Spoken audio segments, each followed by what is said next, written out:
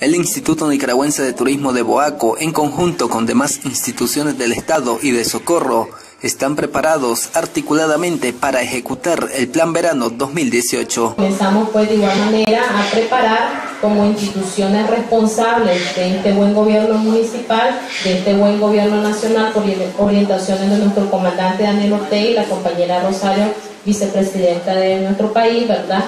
Y articulados en alianza, en consenso con las diferentes instituciones. Es obligación de la Policía Nacional garantizar de que todas las personas que van a trabajar también en todos los centros turísticos pues gocen de la seguridad.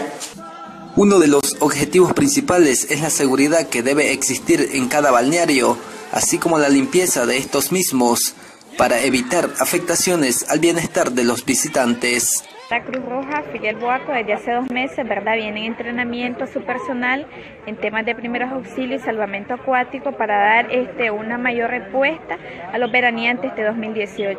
Esperamos que nos visiten y que nosotros también como sector privado le hagamos honor al lema de que atendamos bien a los visitantes para que hacerle honor al lema de que a todos los sitios se va pero a Huaco se vuelve. Por su parte, la Policía Nacional implementará diferentes planes que ayuden a evitar hechos lamentables en las familias que salen a disfrutar de la época de Semana Santa. En el departamento de Boaco les informó Francisco Cantillano.